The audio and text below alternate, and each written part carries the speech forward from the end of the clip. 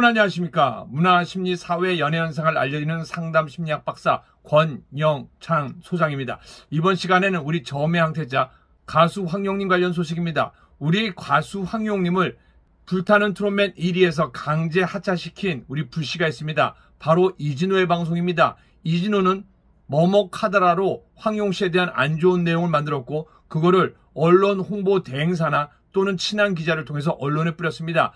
언론사 기자들은 이진호 유튜버의 방송을 그대로 기사로 옮기면서 또한 고소를 피해 나가기 위해서 이진호가 이렇게 주장했다라고 기사를 씁니다. 그러면 이거를 내릴 수 있는 방법은 없을까요? 있습니다. 이번에 제가 직접 경험한 거를 여러 팬들이랑 소속사에 알려드립니다.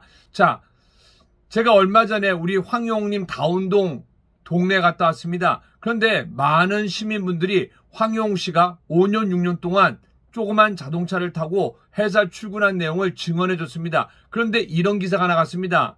스포츠조선 학폭 황영웅 경력도 거짓 6년 일했다며 유니폼 공개한 D사 근무한 적 없다. 디통령 이윤아 기자입니다. 이진호는 스포츠조선 출신입니다. 그런데 스포츠조선에서 이 기사를 먼저 실었습니다.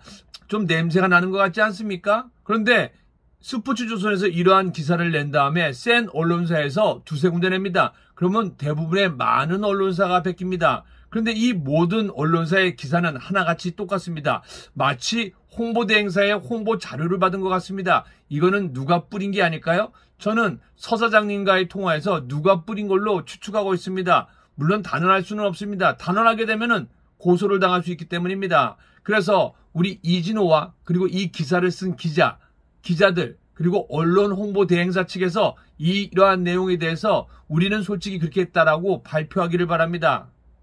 자, 황용 씨는 회사에 다닌 게 정확합니다. 근데 이진호의 머뭇하더라로 황용 씨는 일반 네티즌들 시민들에게 회사조차도 안 다닌 거짓말쟁이가 됐습니다. 이거는 전부 거짓 뉴스입니다. 가짜 뉴스입니다. 그런데 이진호가 주작한 내용 중에 권영찬 내용이 있습니다. 권영찬은 교육부에 알아봤더니 사이비 교수다, 가짜 교수다. 근데 이게 진짜일까요? 사실은 가짜였습니다. 교육부에 전환을 했지만서도 민원인으로 전환했고 정식 요청한 것도 아니고 자신을 밝히지도 않았습니다.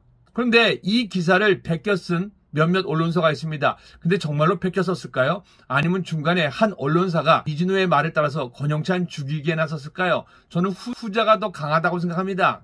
권영찬이란 이름을 검색하면요. 전부 좋은 내용이 나와 있습니다. 그런데 중간 제일 아래쪽에 샘머니 뉴스란 곳에서 기자 수첩 황영우 팔이냐 주작 방송이냐 이진호 대 권영찬 논란 기자 수첩 마치 취재를 한 것 같습니다. 2023년 7월 5일 날 나와, 나온 기사입니다. 이 기사의 내용은 그렇습니다. 앞에 두 장 정도는 이진호의 내용을 그대로 실었습니다. 그리고 뒤에 권영찬의 주장을 실었습니다. 이게 왜 문제가 있을까요? 대부분의 독자들은 앞부분만 읽고 뒷부분을 읽지 않습니다. 그러니까 이 기사를 읽으신 분들은 권영찬은 가짜 교수에다가 사이비 교수라는 걸 믿을 수밖에 없습니다. 근데 이 언론사는 내부에 나가는 언론사가 아닙니다. 네이버에 이 비슷한 기사가 세 군데 정도 나갔는데요. 전부 제가 재직 증명서를 보내고 고소하겠다고 정식 요청을 했습니다. 고소하기에 앞서서 미리 연락을 했고 내려주기를 바란다고 했습니다. 그리고 제가 보낸 재직 증명서와 이진호가 박정기라는 유튜버 저는 박벌금이라고 합니다. 저한테 제 고소로 수원 지방 검찰청에서 300만 원 벌금형을 받았습니다. 그 내용까지 함께 전달하자 기사가 당연히 삭제가 됐습니다. 그런데 이 언론사는 기사를 삭제하지 않았습니다. 근데 문제는 뭐냐면요. 네이버의 주요 언론사가 아닌데 권영찬을 검색하면 이게 가운데 떴습니다. 왜 그럴까요? 한 홍보대행사에서 매크로를 쓴 걸로 보입니다. 매크로를 쓰면은 수많은 조회수가 올라갑니다. 그러면은 권영찬을 검색했을 때 이게 마지막 내용이 나옵니다. 저는 별로 신경 안 씁니다. 그런데 왜 이 내용을 지우려고 했을까요? 얼마 전에 경상도에 있는 한 지자체에 강연을 가기로 했습니다.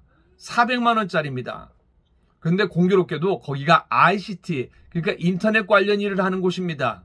그러다 보니까 요거를 봤는데 요거 좀 내려주시고 잠깐 보류하겠다고 했습니다. 저는 그러라고 했습니다. 강연 하나 없어진다고 해서 뭐 권영찬 죽, 죽는 스타일이 아니기 때문입니다. 그런데 여기에 알고 봤더니 2년 전에 저한테 사업 요청을 한 언론사였습니다. 이걸 최근에 알았습니다. 그래서 그 내용을 보냈더니 자기는 기사를 내릴 수 없다고 합니다. 또 자기네 고문 변호사한테 얘기했더니 기사에 틀린 내용이 없다고 합니다. 그래서 언론중재위원회 제가 신고를 한다고 했습니다. 그리고 고소까지 한다고 했습니다. 그러니 그러라고 하더라고요. 지금 현재 이진호를 잡기 위해서 제가 저는 한 놈만 때립니다. 이진호만 잡습니다. 뭐 여기까지 잡을 필요가 있겠습니까? 그래서 언론중재위원회 정식으로 신청을 하고 고소를 했습니다. 그런데 언론중재위원회를 제가 잘못 알고 있었습니다. 여기는 정부 기관입니다. 방송위도 마찬가지입니다. 제가 깜짝 놀란 거는 조정 신청서를 냈는데 그 중재 담당자가 바로 부장판사였습니다. 그리고 각 언론사의 국장이나 부장을 지냈던 위원들이었습니다. 그리고 제 담당자가 배정이 됐습니다. 그리고 그 담당자가 배정이 되고 제가 재직증명서 그러니까 서울문화예술대학교에서 견인교수 3년 또 서울문화예술대학교 외래교수에서 3년 여기는 인가대학입니다. 그리고 그 이후에 비인가대학인 커넬대학교에서 정교수로 3년 동안 한 재직증명서를 전부 보냈습니다. 그리고 이거를 그, 그 언론사에 전했습니다. 그리고 그 언론사의 반응이 어땠을까요? 한마디로 깨갱이었습니다. 죄송하다는 말과 함께 기사를 삭제해야 할 테니 언론중재위원회 이거를 치하해달라는 겁니다. 저한테 그럴 용의가 있냐고 물어봐서 저는 지금 이 기사를 내리는 게 중요하지 여기를 상대로 뭐 손해배상 받고 싶은 생각도 별로 없습니다. 너무나 쉽게 기사가 내려갔습니다. 황용 씨의 수많은 기사, 문신 사진, 이거 충분히 내릴 수 있습니다. 이런 걸 없앨 수 있다는 것을 소속사에는 알고 계셔야 됩니다. 이런 걸 없앨 수 있다는 걸 팬들은 알고 계셔야 됩니다. 너무나 간단했습니다. 그리고 만약에 취재를 하지 않은 기사는요, 반론 보도를 해야 됩니다. 여러분들, 언제나 언론사에 전화하고 언론중재위원회를 찾으시고 방송은 방심위를 찾으십시오. 그리고 그래도 안 된다. 저처럼 고소하시기 바랍니다. 그러면 그 이후로는 방송을 못합니다. 이진호가 왜 그 이후로 방송을 못할까요? 제가 고소장을 접수한 다음에도 방송을 계속하면 나중에 가중 처벌을 받기 때문입니다. 여러분들 이런 걸 꼭 알고 있어서 우리 황용님 보호하는데 앞장 서시기 바랍니다. 혹 여러분들이 원하시면 저도 나서 드리겠습니다. 10월의 어느 가을밤 쓸쓸히 혼자 술잔 채우는 그렇게 좋아했던 인사동 찻집 가보시다